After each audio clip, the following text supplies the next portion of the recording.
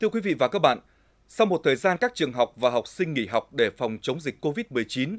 ngày mai 27 tháng 4, các em học sinh từ lớp 5 trở lên sẽ bắt đầu đi học trở lại. Có lẽ chưa năm học nào, các thầy cô giáo và các em học sinh lại phải nghỉ học dài ngày như năm nay. Liệu thời gian nghỉ học như vậy có ảnh hưởng đến chương trình dạy học của các thầy cô, các em học sinh và các nhà trường đã có sự chuẩn bị như thế nào? Sau đây, biên tập viên Phạm Hà sẽ làm rõ về vấn đề này. Xin mời chị Phạm Hà. Dạ vâng ạ, xin cảm ơn anh Xuân Hùng ạ. Thưa quý vị và các bạn, dịch COVID-19 bùng phát trên quy mô thế giới đã ảnh hưởng đến mọi lĩnh vực kinh tế và xã hội, trong đó có ngành giáo dục và đào tạo. Tối ngày 23 tháng 1, Bệnh viện Chợ Rẫy thành phố Hồ Chí Minh xác nhận hai bệnh nhân dương tính với virus SARS-CoV-2 đầu tiên tại Việt Nam. Ngày 1 tháng 2, xuất hiện trường hợp truyền nhiễm nội địa đầu tiên của nữ lễ tân khách sạn tại Nha Trang. Trước tình hình đó, ngày 3 tháng 2, Ủy ban nhân dân tỉnh quyết định cho học sinh từ bậc mầm non đến trung học phổ thông trên toàn tỉnh được nghỉ học để phòng chống dịch bệnh. Sau một tháng nghỉ học, ngày 2 tháng 3, học sinh bậc trung học phổ thông giáo dục thường xuyên đi học trở lại. Ngày 16 tháng 3, Sở Giáo dục và Đào tạo phối hợp với Đài Phát thanh và Truyền hình Hưng Yên sản xuất chương trình dạy học trên truyền hình cho khối lớp 9. Ngày 31 tháng 3, mở rộng chương trình dạy học trên truyền hình sang khối 12, đến ngày 8 tháng 4 thêm khối lớp 5. Đến ngày 26 tháng 3, số bệnh nhân dương tính với virus SARS-CoV-2 trên cả nước tăng nhanh chóng, nguy cơ lây nhiễm cao. Ủy ban nhân dân tỉnh cho học sinh bậc trung học phổ thông và giáo dục thường xuyên tiếp tục được nghỉ học để phòng chống dịch bệnh. Ngày 27 tháng 4, học sinh từ khối lớp 5 trở lên đi học trở lại. Học sinh từ lớp 1 đến lớp 4 đi học trở lại từ ngày 4 tháng 5. Trẻ em mầm non 5 tuổi đi học trở lại từ ngày 11 tháng 5. Các nhóm lớp mầm non còn lại căn cứ tình hình dịch bệnh, Ủy ban nhân dân tỉnh sẽ thông báo sau. Thực hiện chỉ đạo của Bộ Giáo dục và Đào tạo, Ủy ban nhân dân tỉnh, ngành giáo dục Hưng Yên đã có những biện pháp hỗ trợ giúp học sinh ôn tập và tiếp thu kiến thức, nhất quán quan điểm dừng đến trường nhưng không dừng việc học.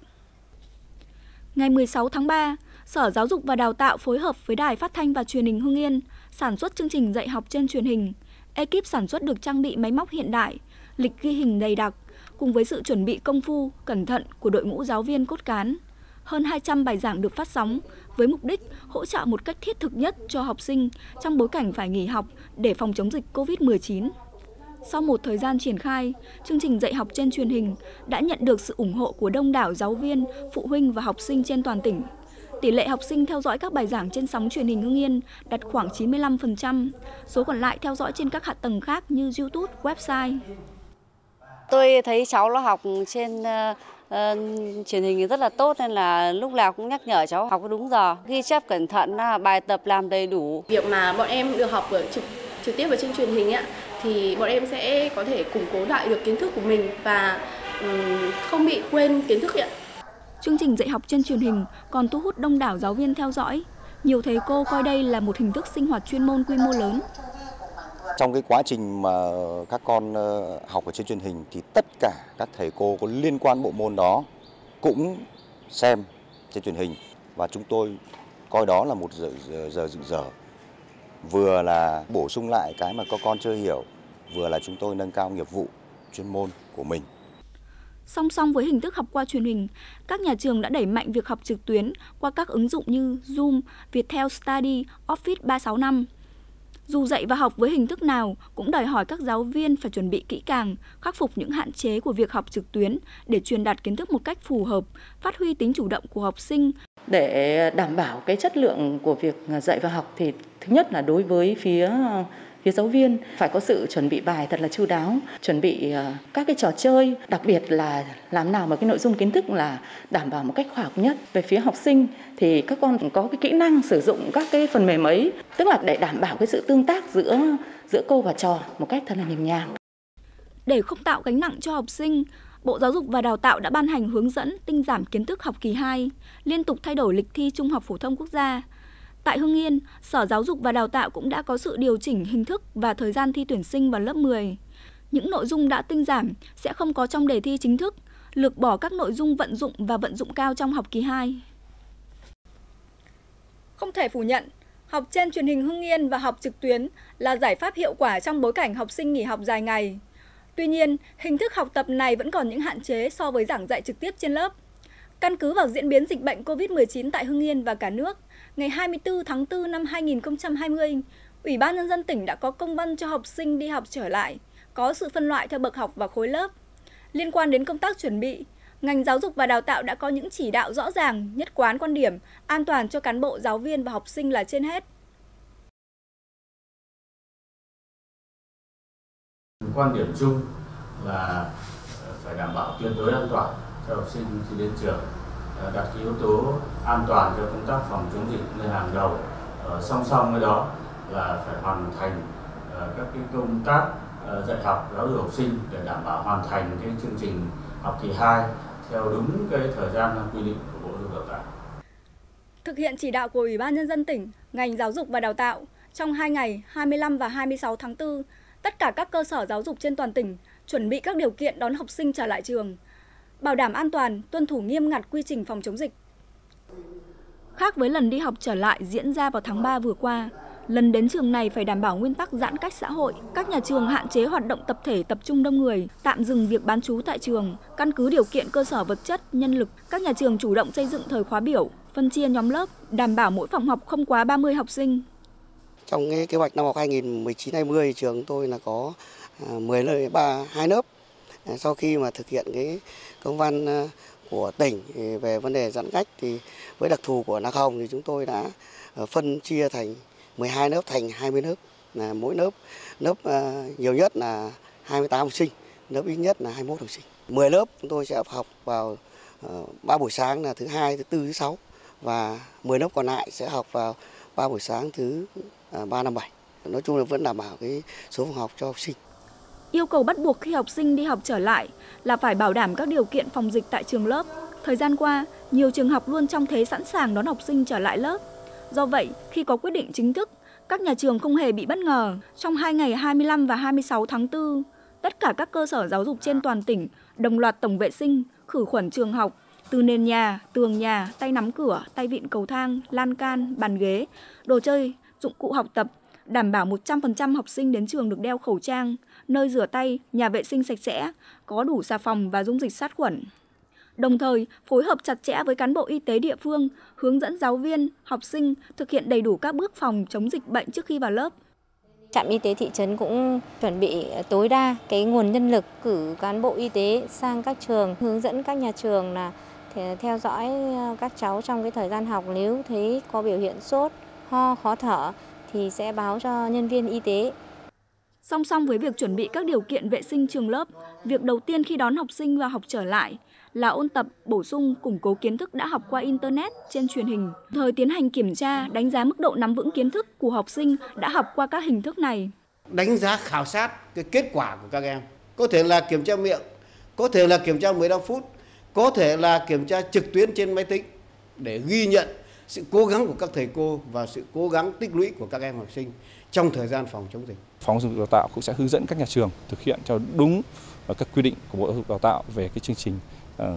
giảm tải các nội dung rút gọn để uh, cho khi để dạy cho các em học sinh khi đi học trở lại một cách hợp lý nhất và đảm bảo là các em học sinh tuyệt đối an toàn cũng như là đảm bảo lượng kiến thức của năm học 2019-2020. Đến thời điểm hiện tại, các cơ sở giáo dục trên toàn tỉnh cơ bản đã hoàn thành các công tác chuẩn bị, đảm bảo an toàn cho cán bộ, giáo viên và học sinh trước, trong và sau khi kết thúc mỗi buổi học. Đến ngày 27 tháng 4, thôn Chí Trung, xã Tân Quang, huyện Văn Lâm vẫn thực hiện cách ly 28 ngày theo quyết định của Chủ tịch Ủy ban Nhân dân tỉnh. Như vậy, những học sinh đang sinh sống tại đây chưa thể đến trường. Để việc học của các em không bị ảnh hưởng, địa phương và các nhà trường đã có những giải pháp thiết thực. Ngay sau khi có quyết định chính thức về thời gian học sinh đi học trở lại,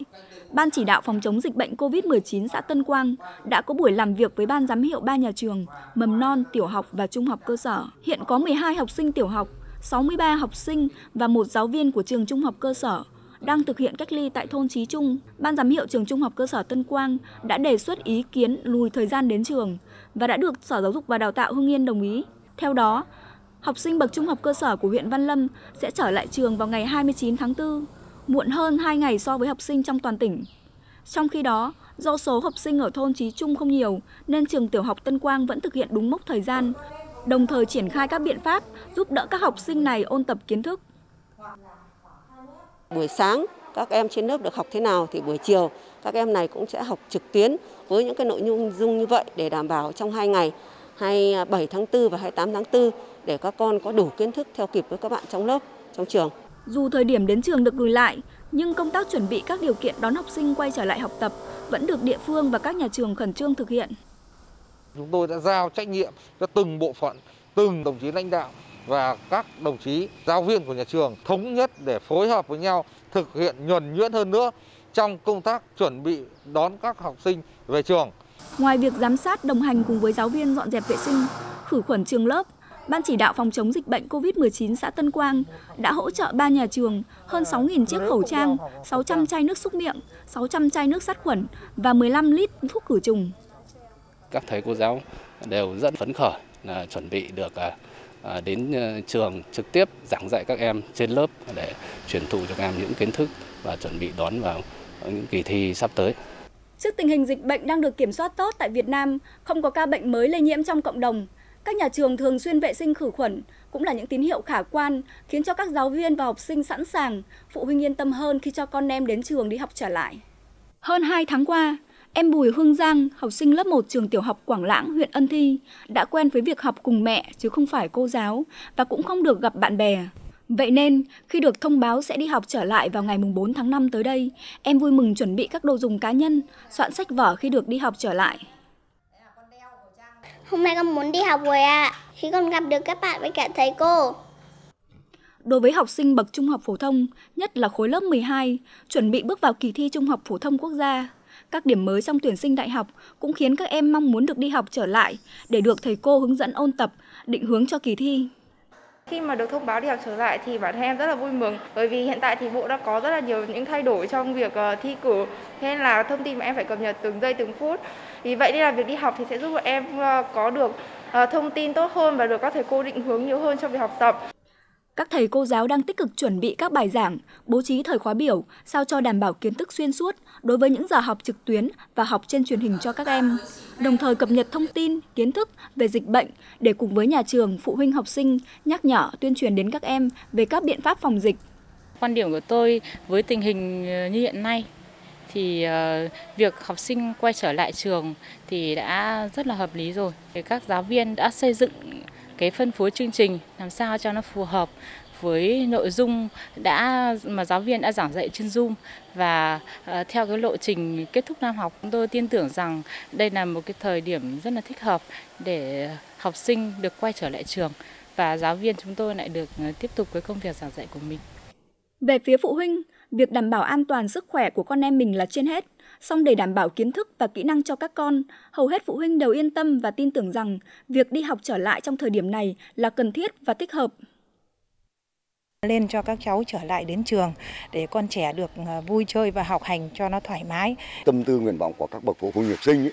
và cũng như là của các em ấy, thì cũng rất muốn là được đi học sớm trở lại. Đến với nhà trường thì cũng rất phấn khởi là à, trường ấy, cũng ờ, yêu cầu đấy ví dụ như là rửa tay này Ờ, trước khi ờ, đến lớp rồi đeo khẩu trang trước khi đi học. Mà đặc biệt cái cái quy định nhà tôi thấy là nó hợp lý theo cái quy định của Bộ Giáo dục ấy là phụ huynh học sinh trước kia thì cứ đưa vào sân ấy, thì bây giờ là chúng ta thực hiện tốt thì cũng là yêu cầu chỉ đưa đến cổng thôi. Xong nhà trường sẽ đưa đón các em vào hướng dẫn các em sát trùng tay rồi rửa xà phòng rồi đeo khẩu trang giãn cách ừ, giữa các em với các em. Thì tôi thấy chúng tôi cũng rất là yên tâm và cũng rất mong là cho các cháu được đi học trở lại. Đến thời điểm này là tôi nghĩ là cũng phù hợp cho các cháu quay lại trường. Nhưng mà tuy nhiên Ờ, thì tôi cũng ờ, ờ, nhắc nhở các cháu và chuẩn bị cho các cháu tất cả những cái đồ dùng ví dụ như là khẩu trang và nước rửa tay ừ, nói chung cũng như nước uống